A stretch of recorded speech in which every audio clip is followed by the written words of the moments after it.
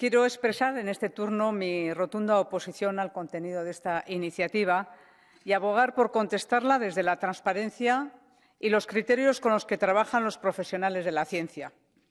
Desde hace años, la Asociación Europea para la Investigación Animal promueve y cumple a rajatabla las normas de bienestar aplicables a los animales de laboratorio.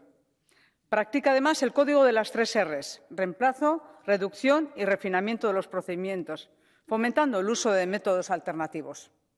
¿Qué hacer cuando no hay otra opción? Escuchemos iniciativas como Compromiso por la Ciencia, impulsada por el Consejo Europeo del Cerebro, que nos pide apoyo para la investigación sobre las enfermedades neurodegenerativas y psiquiátricas.